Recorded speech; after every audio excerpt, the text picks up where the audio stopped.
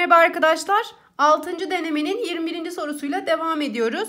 Ercan'ın koşu bandında 1, 2 ve 3 numaralı hız ayar düğmeleri vardır. Her bir düğmeye basıldığında dakikada kendi numarasıyla orantılı yürüyerek antrenman yapılmakta. Ercan bir süre koşu bandında antrenman yaptığında 1 ve 2 numaralı ayarlarda toplam 17 dakika, 2 ve 3 numaralı ayarlarda toplam 9 dakika yürüyüş yapmıştır. Bu durumda 1 ve 3 numaralı ayarlarda yürüdüğü toplam yol 2 numaralı ayarda yürüdüğü toplam yolun 5 bölü 3 katı olduğuna göre Ercan 2 numaralı ayarda toplam kaç dakika yürümüştür? Şimdi şöyle yazalım 1, 2 ve 3 nolu ayarlar. Burada e, 1 ve 2 nolu ayarlarda toplam 17 dakika demiş. Şimdi burada da 2 ve 3 demiş. 2 ile 2'ler burada ortak olduğu için öncelikle 2 ile başlayacağım. Mesela 2'de 2 numaralı ayarda x dakika yürümüşse 1 ile 2'nin toplamı 17 ise o zaman 17 eksi x dakika. Bunlar dakikaları yazıyorum. X dakika 2 numaralı da 17 eksi x 1 numaralı da yürüyüş yapmış. 2 ve 3'ün toplamında da 9 dakika yürüyüş yapmış. O zaman burası x ise burası o zaman 9 eksi x kadar yürüyüş yapmış dakika. Bu durumda 1 ve 3 numaralı ayarlarda yürüdüğü toplam yol. Şimdi bu sefer yoldan bahsediyor. Bize de şunu söylemişti. Her bir düğmeye basıldığında dakikada kendi numarasıyla orantılı.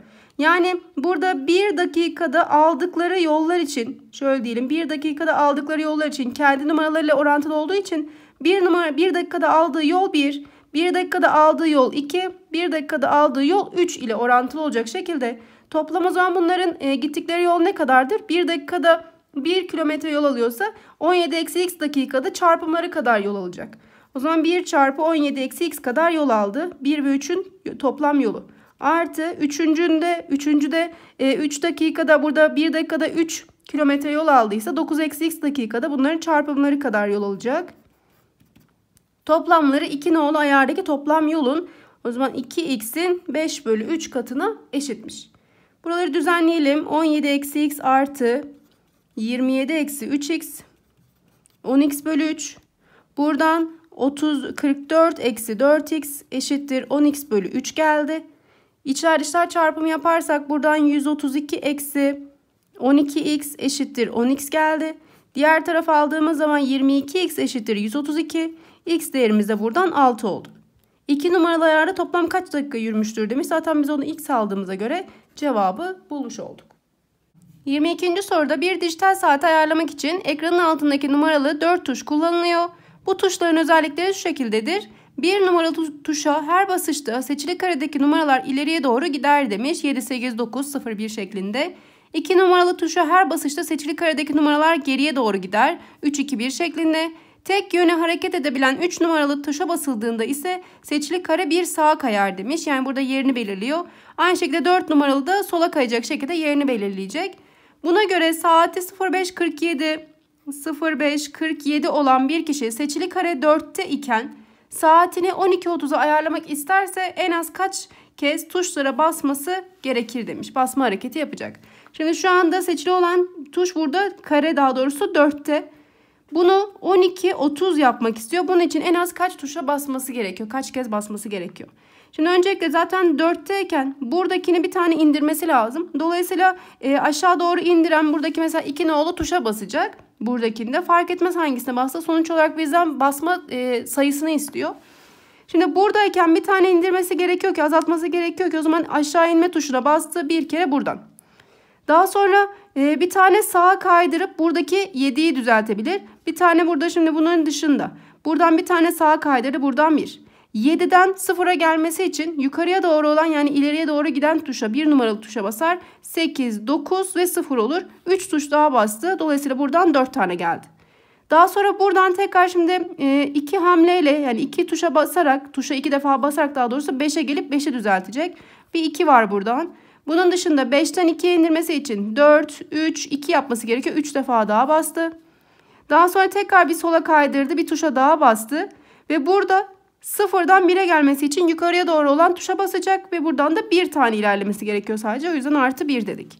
Toplamda kaç tane var bakalım. Buradan 5, 7, 8. Buradan da 4 defa daha toplamları 12 kere basması gerekiyor diyoruz. 23. soruda birbirine bitişik iki çarktan biri saat yönünde hareket ederse diğeri saat yönünün tersine hareket eder. Mesela bu şekilde ilerliyorsa diğer ona ters bir şekilde ilerleyecek. Aynı şekilde sarı yani A çarkı bu şekilde ilerliyorsa diğeri bu şekilde ilerleyecek. Buna göre yukarı diş sayıları önemsiz olan ABC çarklarının her birinin üzerinde kendi içinde eşit bölümlendirilmiş sayılar yer almakta. Dişler şekildeki konumdayken A çarkı ok yönünde bir sayı ilerleyip 9'a geldiğinde B ve C çarkları bir turunu tamamlamadan B çarkı 2'yi C çarkı da 3'ü gösterdiğine göre. Şimdi A çarkı 1 ilerlediğinde 9 numaradan 1 numaraya gelmiş. Yani şöyle gösterelim. 1 ilerlediğinde diyelim. 1 ilerlediğinde 9'u göstermiş. Bunun da 1 ilerlediği zaman bu sefer de bunun da yine aynı şekilde 2, 2'yi gösteriyorsa daha doğrusu. Şu an 1'i gösteriyordu. 2'yi göstermesi için bunun da aynı şekilde 1 ilerlemesi lazım. Yani bu e, aynı oranda ilerleyecekler. Bu 1 ilerlediyse bu da 1 ilerliyor. E, C'nin 3'ü göstermesi gerekiyor. Şimdi bu 1 ilerlediğinde bunun normalde 1'i gösterirken 3'ü göstermesini söylüyor. Dolayısıyla bu şekilde gidiyorsa bir sonrakinde 6'yı gösterecek, 5'i gösterecek, 4'ü gösterecek, 3'ü gösterecek. Dolayısıyla bu 1 ilerlediğinde A çarkı 1 ilerlediğinde C çarkının 4 ilerlemesi gerekiyor ki istediği numara burayı göstersin. Buna göre A dişlisi ok yönünde 6 sayı ilerleyip demiş 4'e getirilirse B ve C çarklarının gösterdiği sayılar toplamı. Şimdi buradaki A çarkı 6 ilerliyorsa buradaki oranlarına bakacağız. 6 ilerliyorsa B çarkının da 6 ilerlemesi lazım. Burada e, 4 katıydı. Dolayısıyla 6'nın da 4 katından burasında o zaman C'nin de 24 ilerlemesi lazım. Şimdi 6 ilerleyecekse şöyle bakalım bir turda zaten 4 tane var. Yani bir turu tamamladı 4 ilerlediğinde bir turu tamamlamış oluyor. O zaman 6 ilerlemekten 4 ilerlemeyi çıkartırsak bir tur tamamlanmış olacak. Yine 1'e gelecek. 2 ilerleme daha yapacağız. 2'ye geldi 3'e geldi. Dolayısıyla B çarkı 3'ü gösterdi. Buraya baktığımız zaman da 24 ilerleme. Şimdi yine bir tur olarak bakalım. Çünkü burada her turda başa dönecek. Bir turda 6 tane var. 24'ü o zaman 6'ya böldüğüm zaman e, burada tam bir e, 4 defa tam tur atmış olacak. Sonuçta 4 defa tam tur attığında yine 1'i göstermiş olacak C çarkı. O yüzden de buradaki son numarası 1 oldu. Bizden 3 ile bu sayıların toplamını istemiş. 3 ile 1'in toplamından da cevabımız 4 geldi. 24. soruda x1, x2, xn elemanlarından oluşan bir veri grubunda grubun aritmetik ortalaması x olmak üzere standart sapması şeklinde hesaplanır demiş. 4, 8 ve 12 elemanlarından oluşan bir veri grubuna 4 eklenirse grubun standart sapması S1, 8 eklenirse S2, 12 eklenirse standart sapma S3 olmak üzere bizden sıralama istemiş. Şimdi e, burada mesela 4 eklenirse o zaman burada aritmetik veri grubuna bir 4 eklediğimiz zaman aritmetik ortalamaya bakalım. Aritmetik ortalamamız bize ne verecek? Topladığımız zaman 20, 28. 4'e böldüğümüz zaman aritmetik ortalama 7 gelecek. Daha sonra standart sapmayı uyguladığımız zaman her bir terimi aritmetik ortalamadan çıkartıp karesini alacağız. 4 eksi 7'nin karesi artı 4 eksi 7'nin karesi artı 8 eksi 7'nin karesi artı 12 eksi 7'nin karesi gelecek. Bölü Veri grubunun bir eksiğine böleceğiz. 4 tane olduğuna göre 3'e böldük. Bunun karekökünü alacağız. Şimdi bu bize S1'i verecek. S2'ye bakalım. Bunun için yine aritmetik ortalamayı bulacağım. Bu sefer 8 eklediğimiz zaman 4 değil de 8 eklediğimiz zaman o zaman bunların toplamları buradan 8, 16, 20, 32 gelecek. 4'e böldüğümüz zaman da 8 olacak. Şimdi burada 8 bu sefer S2 değerine bakalım. Her birini yine aynı şekilde 8'den çıkartıyorum. 4 eksi 8'in karesi. Daha sonra 8 e, eksi 8'in karesi artı 8 eksi 8'in karesi 2 tane 8 var çünkü. Artı 12 eksi 8'in karesi gelecek. Böyle yine aynı şekilde veri grubunu burada bir eksiğinden dolayı 3, 3'e böldük ve bunun karekökünü alacağız. Diğerine bakalım. Bu sefer aritmetik ortalamamız. Şimdi bu sayıya 12 eklediğimiz zaman bu sefer 12 eklediğimiz zaman o zaman toplamları 24. Buradan 32, 36 gelecek. 4'e böldüğümüz zaman da 9 oldu aritmetik ortalama. S3 için 4 eksi 9'un karesi artı 8 eksi 9'un karesi artı 12 eksi 9'un karesi bir tane daha 12 var 12 eksi 9'un karesi gelecek. Bölü 3. Bu değerlerin sıralanmasını istemiş bizden. Şimdi burada karelerini aldığımız zaman burada 3 gelecek. 3'ün karesinden 9 artı 9 artı buradan 1 artı buradan da 5 geldi. 5'in karesinden 25 bölü 3 oldu. Bu değerlere bakalım. 4'ün karesinden 16, 8 bunlar gitti zaten. 12 eksi 8'in karesinden yani yine 16 geldi bölü 3. Buraya bakalım. 5'in karesinden 25, 1'in karesi 1, 3'ün karesi 9. Burada da yine aynı şekilde 3'ün karesi 9 geldi bölü 3. Şimdi bu değerleri baktığımız zaman şimdi hiç bunları toplamamıza gerek yok. S1 ile mesela zaten paydaları eşit. İkisi hepsi kök içinde. S1 ile S3'e baktığımız zaman 9, 9, 1, 25, 9, 9, 1, 25. Dolayısıyla S1 ile S3 değerleri birbirlerine eşit geldi. Topladığımız zaman mesela burada 32 geliyor. Bunların değerleri pay kısımları daha büyük. Dolayısıyla S2 değeri onlardan daha küçük oldu. O zaman şunu diyeceğiz. S1 ile S3 büyük. Pardon eşit. Onlar da S2'den büyüktür diyeceğiz. 25. soruda bir basketbol karşılaşmasında A takımı toplam 10 tane serbest atış kullanmış ve bunların %40'ını isabet sağlamıştır. Yani %40 10 taneden 4'ünü isabet sağlamış. Aynı maçta bu 10 atıştan sonra kullandığı tüm serbest atışlarda isabet sağlayarak tüm maçtaki serbest atış yüzdesini %70'e çıkarmış. Yani 10'da 7'ye çıkarmış. A takımının bu maçta kullandığı toplam serbest atış sayısı. Şimdi normalde bu şekildeyken yaptığı her atış mesela x kadarlık atış yapıyor. Yaptığı her atış isabete denk geliyor. O zaman şöyle diyebiliriz. X tane daha atış yaptıysa bu 10, 10 atıştan sonra X tane daha atış yaptığında o zaman toplam yaptığı atış sayısı X tane artmış olacak. Hepsinde isabet ettirdiği için yaptığı isabet sayısı isabet atış sayısı da X kadar artmış olacak. Dolayısıyla 4 artı X bölü 10 artı X sayısı da 7 bölü 10'a eşit olacak. Buna göre buradan içler dışlar çarpımı yaparsak 40 artı 10X eşittir 70 artı 7X. Buraya aldığımız zaman 3x eşittir 30. X de buradan 10 geldi. Dolayısıyla 10 atıştan sonra 10 atış daha yaptığında hepsini de burada isabet ettirdiğinde burada e, serbest atış sayısında atış yüzdesi yani isabet yüzdesi 7 bölü 10'a çıkmış. Buna göre bu maçta kullandığı toplam serbest atış sayısı kaçtır? İlk başta 10 atış yapmıştı. Daha sonra 10 atış daha yaptığına göre toplamda 20 atış yapmıştır diyoruz. 26. soruda oturma planının kesiti gösterilen bir uçakta koridorun sağ tarafında ve sol tarafında üçer koltuk ile en önden itibaren her bir sırada birden başlayarak numaralandırılmış. Hostesler tarafından tüm yolculara kek veya sandviçten hangisi istendiği sorulduğunda koridorun sol tarafındaki her sırada iki yolcu kek, bir yolcu sandviç. Koridorun sağ tarafında birinci sıradan başlamak üzere birinci sırada iki yolcu kek, bir yolcu sandviç, ikinci sırada tüm yolcular kek şeklinde devam etmiş düzeninde istekte bulunmuşlardır. Uçağa eşit sayıda kek ve sandviç alınmış ve en önden başlanıp 16. sıradaki yolcuları yolcular ikramları aldığında diğer yolculara kek kalmamıştır. Yani 16. sıraya gelince kekler bitmiş. 16. sırada tamamlandıktan sonra toplam kek ve sandviç sayısı uçaktaki koltuk sayısı kadar olduğuna göre toplam koltuk sayısı kaçtır? Şimdi öncelikle 16 16 sıraya kadar 16. sırada dahil olacak şekilde toplam kaç tane kek e, kullanılmış ona bakalım. Çünkü direkt orada bittiğini söylüyor. Mesela sandviçten yola çıkamayız. Çünkü sandviçin nerede bittiğini bilmiyoruz. Keklerden bakalım. Mesela sol tarafında her sırada 2 yolcu kek almış. Her sırada 2 yol 2 kekse o zaman toplamda e, şöyle bakacağız. 16 sırada hepsine kek dağıtıldıysa her sırada da 2 tane kek veriliyorsa 16 çarpı 2 defa sol tarafa kek verildi. Sağ tarafa bakalım. Sağ tarafta da birinci sırada iki yolcu kek. ikinci sırada tüm yolcular kek. Yani üç tane kek. Dolayısıyla bu şekilde ikişer ikişer sırayla gitti. Toplam iki e, sırada beş tane kek var. 2 2 gittiği için 16'ya kadar 8 tane böyle grup olmuş oldu. Dolayısıyla 5 çarpı 8 de bize buradaki yine kek sayısını vermiş oldu sağ taraftaki. Buradan 32, buradan 40 geldi. Toplamda 72 tane kek varmış ve 16. sırada bitmiş. Eşit sayıda kek ve sandviç olduğuna göre o zaman 72 tane de sandviç var. Bize kek ve sandviç sayısının toplam kek ve sandviç sayısı uçaktaki koltuk sayısı kadar olduğuna göre demiş. Dolayısıyla 72 ile 72 topladığımız zaman 144 tane koltuk sayısı vardır diyoruz. Bize de koltuk sayısını sorduğuna göre cevabımızı bulmuş oluyoruz. 27. soruda 200 kişilik bir grupta herkesin elinde birden başlayıp 200'e kadar devam eden ardışık numaralardan oluşturulmuş biletlerden birer tane vardır. Yapılan çekilişte çekilişi kazananın dışında biletinde sadece son hane tutan ödediği bilet tutarı kadar ikramiye, sadece son iki hane tutan ödediği bilet tutarının iki katı kadar ikramiye kazanmakta.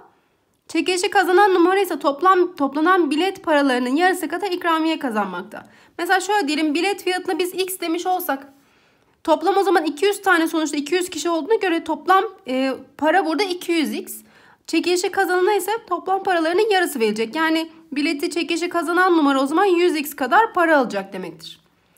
Bunun dışında bir numaraya birden fazla ikramiye türü isabet ettiğinde ona sadece e, ikramiye türü en fazla olan tutarlı olan yani en büyük tutarlı olan ikramiye verilecek.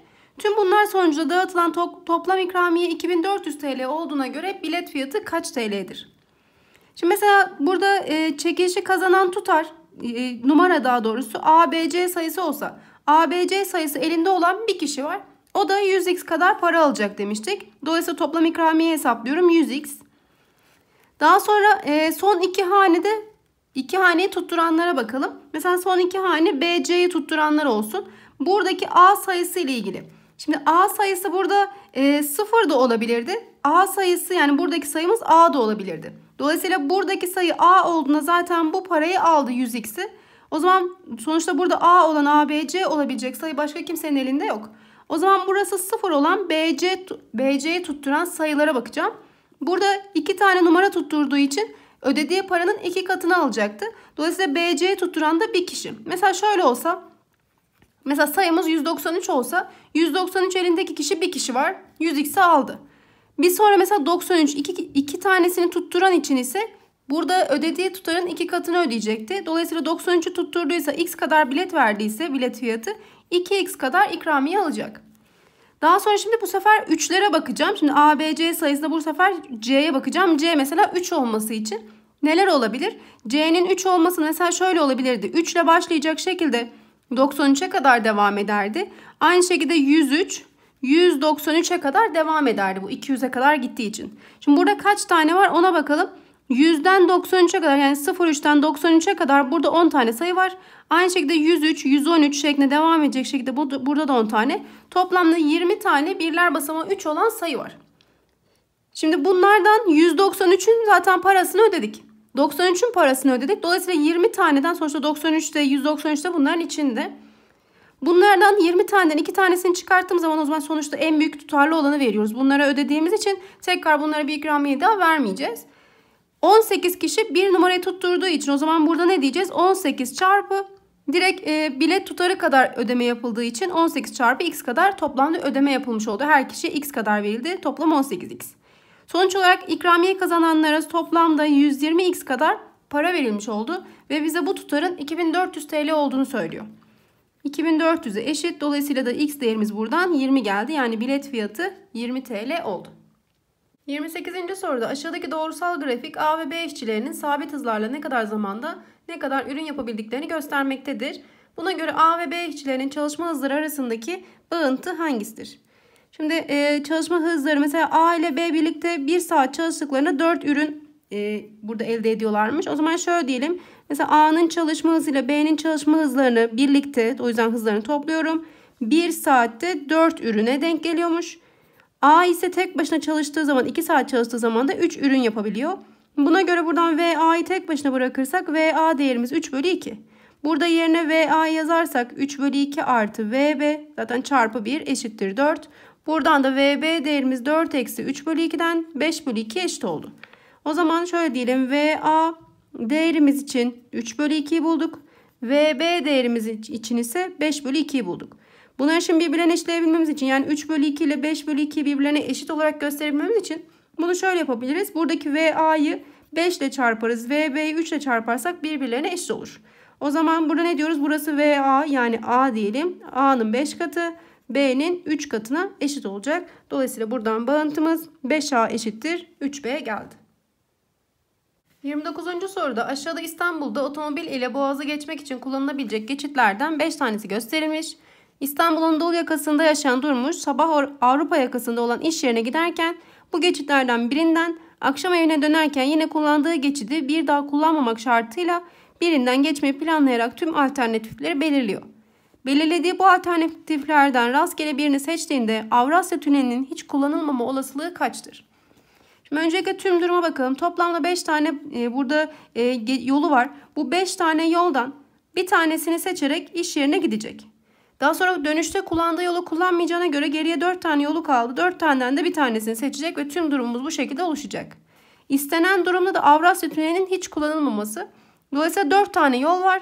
4 tane yoldan giderken bir tanesini kullanacak. Sonuçta dönüşte yine aynı şekilde kullanmamak için 3 tane yoldan da bir tanesini kullanacak. Buna göre istenen durumumuz da bu şekilde oluştu. Burada 4'ün birleri sadeleşti. 3'ün birlisi 3, 5'in birlisi de 5 geldi. Dolayısıyla, dolayısıyla olasılığımız 3 bölü 5 oldu. Burada Şebnem'in bir kırmızı renkli ve bir sarı renkli olmak üzere iki vazosu vardır. Bir kırmızı ve bir sarı olmak üzere iki tane gülü, bir kırmızı bir sarı olacak şekilde iki tane lalesi, bir kırmızı bir sarı olmak üzere iki tane menekşesi var. Şebnem her bir vazoya üçer çiçek gelecek şekilde bu çiçekleri yerleştirmek istiyor. Buna göre herhangi bir vazoda tüm çiçeklerin aynı renk olmadığı yerleştirme kaç farklı şekilde yapılabilir demiş. Aynı renk olmasın. Şimdi bunu bulabilmemiz için en mantıklı ve en kısa yol şu olacak. Biz mesela tüm durumdan istenmeyeni çıkartırsak eğer isteneni bulacağız demektir. Dolayısıyla tüm duruma bakalım şimdi. Tüm durumda elimizde toplamda 6 tane çiçek var renklerine bakmadan. 6 tane çiçek var. 6 tane çiçeğin 3 tanesini kırmızı vazoya, geriye kalan 3 tanesini rastgele alıyorum çünkü tüm duruma bakıyorum. Geriye kalan 3 tanesini de sarı vazoya yerleştirdim. Bu tüm durumumuz. Peki istenmeyen ne? Şimdi normalde aynı renklerin olmadığı bir yerleştirme istiyor. Biz istenmeyeni bulacağımız için aynı renkleri yerleştirelim. Yani kırmızıları bir vazoya, sarıları bir vazoya yerleştireceğim. Mesela kırmızıların hepsini kırmızı vazoya, sarıların hepsini sarı vazoya yerleştirebilirim. Veya kırmızıların hepsini sarıya, sarıların hepsini de kırmızıya yerleştirebilirim. Dolayısıyla sadece elimde iki farklı ihtimal var. Dolayısıyla istenmeyen iki durum oldu. Buna göre istenen durum. Şimdi 6'nın üçlüsünü alalım. 6 çarpı 5 çarpı 4. 3 çarpı 2 çarpı 1. 3'ün üçlüsü zaten 1. Bundan 2 çıkartacağız. Buradan 20 eksi 2'den 18 farklı şekilde yerleştirme bulmuş oluyoruz. 31. soruda ABCD kare, GFED ikizkenar yamuk, GF ve CD paralel, GD ve CD birbirlerine eşit ve buradaki açımız 66 derece ise x kaç derecedir demiş. Şimdi ikizkenar yamuk olduğuna göre bu burası 66 derece ise aynı şekilde burası 66 derece gelecek. Daha sonra bu bir kare olduğuna göre DC uzunluğuyla AD uzunluğu eşit. 90'ı tamamladığımız zaman burası 24 geldi. Bu iki kol eşit olduğuna göre o zaman burası da x. Dolayısıyla 2x artı 24 180'e eşit ise 2x de buradan 156 geldi. X değerimiz de buradan o zaman 2'ye e, böldüğümüz zaman da 78 değerine ulaştık. 32. soruda Yavuz kedisi için pet shop'tan esnek plastik teller ile örülü ABCD dikdörtgeni biçiminde sürgü kapıya sahip bir kafes almış. Kafes birinci şekildeki gibi 30 birim açılarak açık bırakılarak ADEF karesel bölgesinde plastik teller eş dikdörtgenler oluşturmuş. EF sürgüsü ikinci şekildeki gibi ok yönünde çekilip kafes tamamen kapatıldığında plastik teller esnerek 24 adet eş kare oluşturduğuna göre burada hepsi e, birer kare 24 tane var ve ABCD dikdörtgenin çevresini istemiş bizden. Şimdi şöyle yapalım. Burada kare olduğuna göre o zaman bunların her bir kenarı aynı. Mesela burada toplamda 6A var. Burada da toplamda 4A var. Burası 6A. Burada şimdi dikdörtgenler var. Bu dikdörtgenlerin de kısa kenarları şimdi uzun kenarları aynı zaten. Burada bir değişiklik yok. Bunlar yine AA şeklinde. Buradakiler ise B şeklinde olsun. Toplamda burada 6 tane B var. 6B artı 30 6 tane A'ya eşit olacak. Önce o denklemi kuralım. 6B artı 30 6A'ya eşit. 6'ya böldüğümüz zaman B artı 5 A'ya eşit oldu. Bu denklemimiz var öncelikle. Daha sonra şunu söyleyebiliriz. Burasının bir kare olduğunu söylemiş bize. Dolayısıyla 6B'nin 4A'ya da eşit olması gerekiyor. Sadeleştirdiğimiz zaman da 2A da 3B'ye eşit oldu. Buna göre burada A yerine 3K, B, e, burada burası 4A eşittir. Şöyle yazacağız 6B. 3B eşit oldu. 2A 3B'ye eşit ise B de buradan 2KA'ya da 3K dedim. Yerleştirdiğimiz zaman B 2K artı 5 3K'ya eşit. Dolayısıyla buradan da K değerimiz 5 geldi. Şimdi K dediğimiz değer A cinsten yazacak olursak burası 15 A'ya eşit olacak. O zaman A değerimiz 15 ise dikdörtgenin çevresine bakalım. 6 6 12 4 4 8 daha toplamda 20 A var. A 15 olduğuna göre 20 çarpı 15'ten çevreyi 300 birim olarak buluyoruz. 33. soruda kenar uzunlukları A, B ve C olan bir üçgenin alanı U eşittir A artı B artı C bölü 2 olmak üzere şeklinde hesaplanır. Buna göre bize uzunluklar verilmiş ve x açısı isteniyor. Şimdi her kenarı verilen buradaki üçgenimiz BDC üçgeni. Ben bu üçgenin alanını buradaki U kuralıyla bulabilirim. Daha sonra bu üçgenin alanını şuradan da bulabilirim. Mesela tabanı BD 9, Burada geniş açılı üçgen yüksekliği dışarıda verilmiş. 9 çarpı x bölü 2 de aynı şekilde buradaki bana e, alan BDC üçgenini verecek. Aynı şekilde ben bu alanı dediğim gibi U'dan bulabilirim. O zaman U'dan bulalım öncelikle. U dediğimiz değer buradaki kenarların her birinin toplamı. Dolayısıyla buradan 27 artı 9'dan dolayı da 36 geldi. 36'yı 2'ye böldüğümüz zaman U değerimiz 18. Buna göre kuralda şöyle yazıyoruz. Kök içerisinde 18 çarpı 18 eksi A yani her bir kenarı buradaki e, U değerinden çıkartacağız. 18 eksi 1'den 18 eksi 17'den 1 geldi. 18 eksi 10'dan 8 geldi. 18 eksi 9'dan 9 geldi. Buna göre kök dışına çıkabilenler var mı bakalım. Mesela burada 18'de 9 çarpı 2 var. Dolayısıyla 9 dışarıya çıkacak. 8 çarpı 2 16 var. 16 dışarıya 4 olarak çıktı. Dolayısıyla buradaki değerimiz alan değerimiz 36 geldi. Yani 9 çarpı x bölü 2 36'ya eşit ise x'i bulalım buradan. Sadeleştirdiğimiz zaman da x değerimiz 8 oldu. 34. soruda dik kenarlarından biri 4 cm olan eş dik üçgen cetvellerden 3 tanesi birinci ve ikinci şekildeki gibi yerleştiriliyor. Buna göre e, CD üssü B, C üssü B, D 2 üssü birer üçgen doğrusallıklar verilmiş ve buna göre alfa açısı kaç derecedir diye sorulmuş. Şimdi e, bize kısa kenarlardan birinin buradaki dik zaten hepsi eş verilmiş. Kısa kenarı 4 verildiğine göre o zaman bu da 4 burası da 4. Buradaki uzunluk içinde şimdi burası 90 derece sonuçta dik üçgen. 4 burası 8 olduğuna göre yani hipotenüs uzunluğu 8. Onun yarısı da burası olduğuna göre 4 olduğuna göre o zaman 30 60 90 üçgeni zaten burada da Pisagor'dan 4 kök 3 geliyor burası da. 4'ü gören 30, burası da 4 kök 3'ü gören de 60 olacak şekilde burada da yerleştirelim. Kısa kenarlar öncelikle 4, 4 dedik. Ee, daha sonra diğer dik kenarımız 4 kök 3. Aynı şekilde burası 4 kök 3. Hipotenüs uzunluğumuz bunlar 8. Burası 4 kök 3. Açılarımızı yerleştirelim. 4'ü gören açılarımız 30. 4 kök 3'ü görenler 60 derece. Aynı şekilde 30, 60, 90 derece şeklinde geldi. Daha sonra e, burada da 90'ın gördüğüne göre AC uzunluğu da 8. Burada da bir dik üçgenimiz var. 4, 8. Burası 4 kök 3. Dolayısıyla 4'ü gördüğü için burası da 30 derece geldi. Burası 90 olduğuna göre burası da 90. Dolayısıyla buradaki açımıza da 30 kaldı. Şimdi e, buradaki D2 üssü C ve B üçgenine baktığımız zaman burası 90 derece. 4 kök 3 4 kök 3 yani ikizkenar bir üçgen geldi. Dolayısıyla 90 olduğuna göre bunlar da 45 derece 45 derece kaldı. Şimdi e, biz alfaya ulaşmak istiyoruz. İki iç açının toplamı dış açıya eşit olduğuna göre 30 ile 45 topladığımız zaman 75 geldi. Dolayısıyla alfa açısı 180 tamamlayacağı için alfa da buradan 105 derece oldu. 35.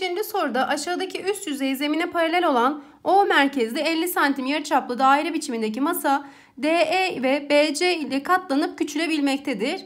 Bu masa ikinci şekildeki gibi BC zeminine dik biçimde katlandığında zemine en yakın noktası A üssü noktası oluyor.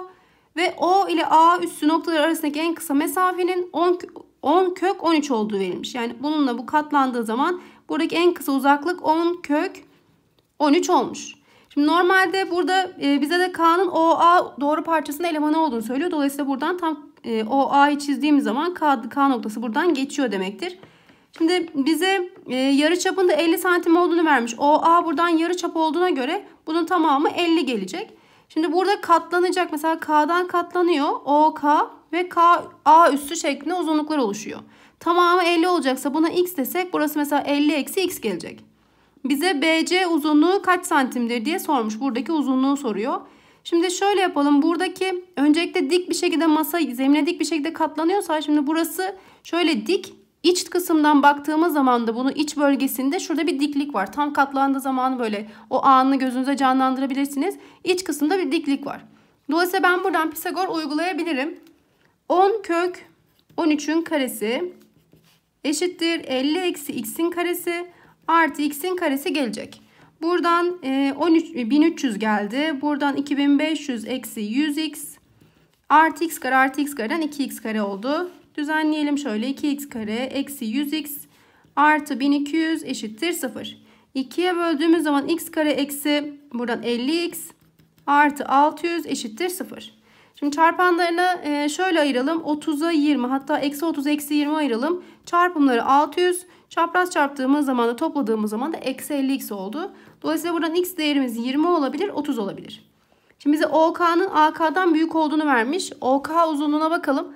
OK uzunluğu AK'dan buradaki değerden uzun olduğuna göre o zaman x değerimize daha büyük değer vereceğiz. Yani x'e o zaman 30 değeri yazacağım ki burası da 20 gelsin.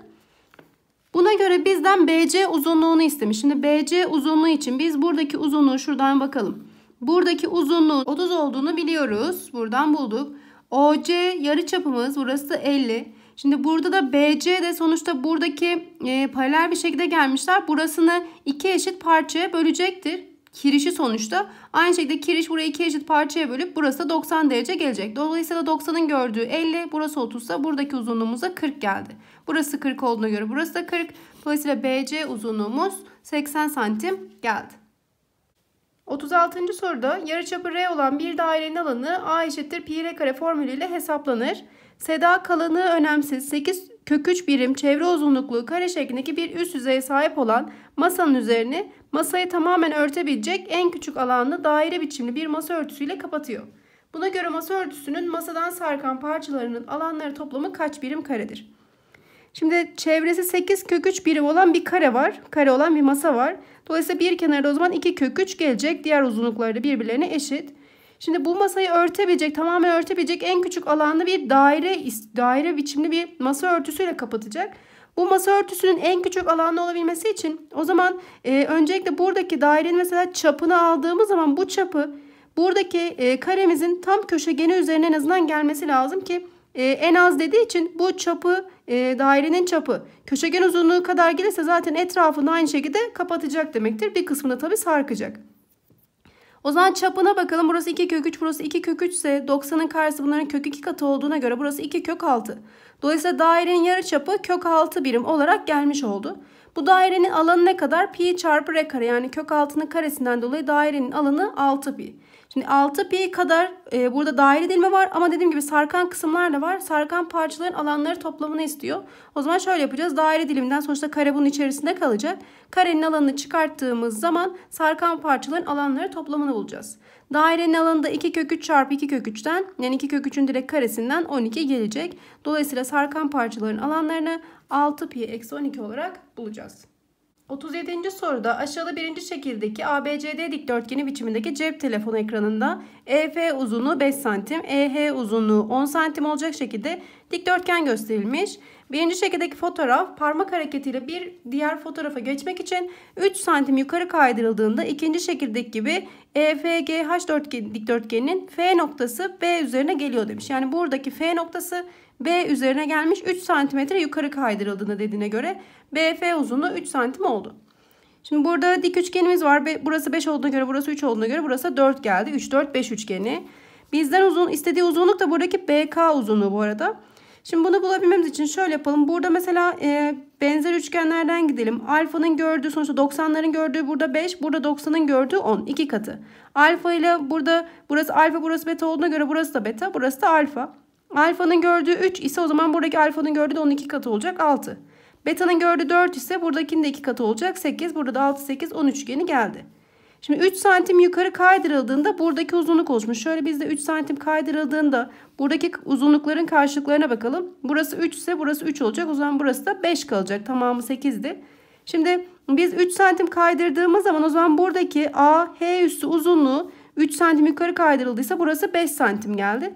Biz buradaki mesela AK uzunluğunu sonuçta buradaki uzunluğumuz buraya denk geldiğine göre AK uzunluğu burasına eşit. Bunu bulursak BK ile ulaşabiliriz.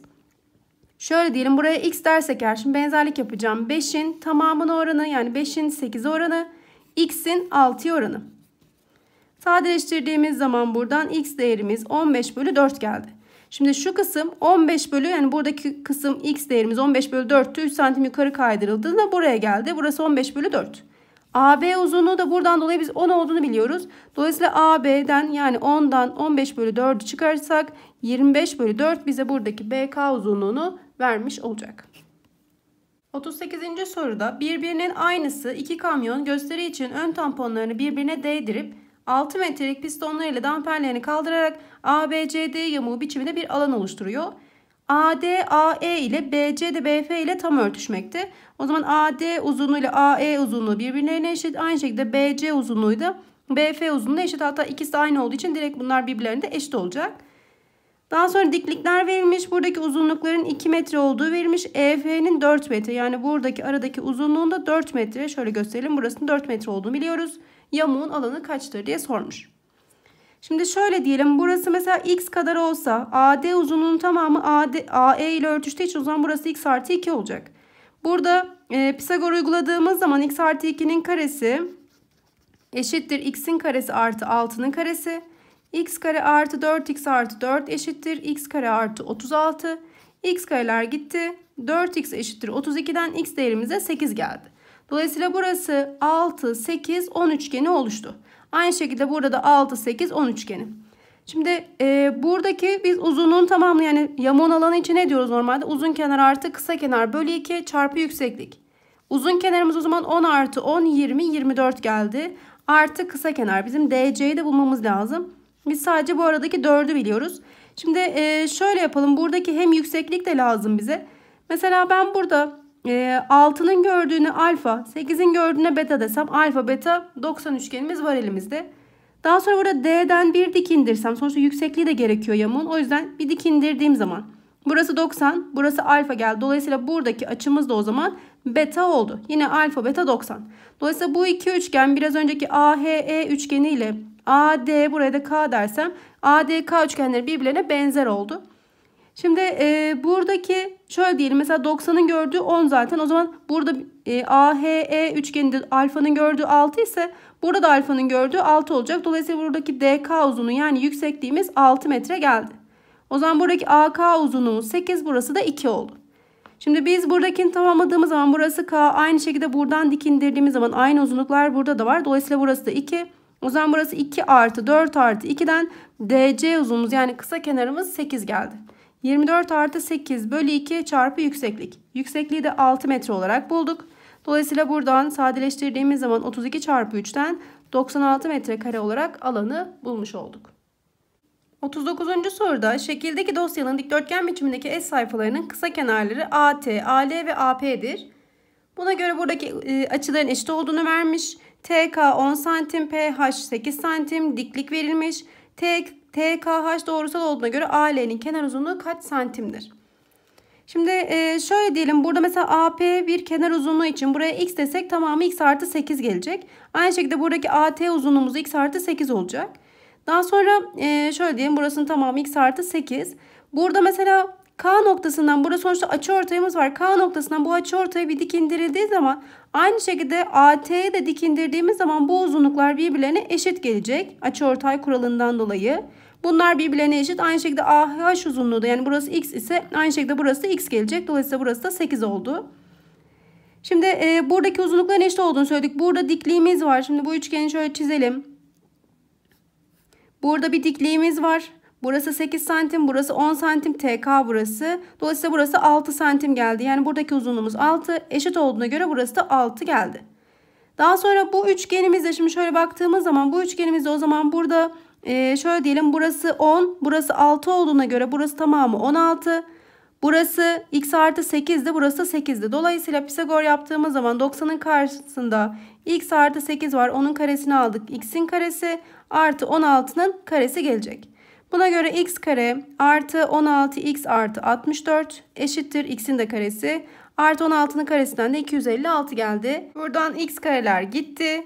16x eşittir 64 diğer tarafa aldığımız zaman 192. X değerimiz de buradan 12 oldu. Buna göre bizden AL uzunluğunu istemişti. AL uzunluğu buradakinin tamamı. Şimdi biz buradaki x değerini şunu bulduk. Tamamı yani buradaki uzunluğu bu kısmını bulduk. 12. Burada da 8 var. Dolayısıyla AP mesela tamamı 20. Dolayısıyla bunlar eşit olduğuna göre AL uzunluğu da 20 santim gelmiş oldu. 40. soruda aşağıda her biri hangi renk ve kaçar tane küpten oluştuğu belirtilen iki parça birleştirilerek yeni bir küp elde ediliyor. Buna göre oluşan bu yeni küpün görünümü hangisi gibi olabilir? Şimdi burada zaten e, 4 tane küp kullanılmış. 2 tane pembe üst üste, 2 tane sarı üst üste burada verilmiş. Önde de bir tane sarı. Şimdi burada da iki tane küp üst üste. O zaman buradaki boşluğa sonuçta iki tane küplük boşluk kısım var buradaki iki küpün önünde. Tekrar iki tane küp gelecek buraya. Aynı şekilde bu bir tane sarı. O zaman bu sarının üstüne gelecek. Dolayısıyla buraya da yine aynı şekilde bir sarı gelmiş oldu. Buraya da iki tane pembe gelmiş oldu. O zaman iki tane arka arkaya pem, e, hatta dört tane burada pembe. Burada da dört tane sarı olacak.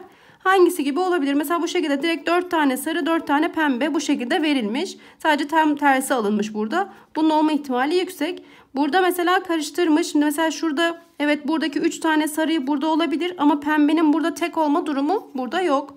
Aynı şekilde burada da pembenin tek olma durumu yok. Çünkü iki tane pembe, iki tane pembe bunlar bir şekilde birleştirilecekler. Burada tek pembenin gelme durumu yine aynı şekilde gelmez. Buraya baktığımız zaman yine aynı şekilde pembeleri ayırmış ama buradaki gibi burada 4 tane pembe, 4 tane sarı bu şekilde gelme ihtimali daha fazla. O yüzden de cevabımız buradan A şıkkı geldi.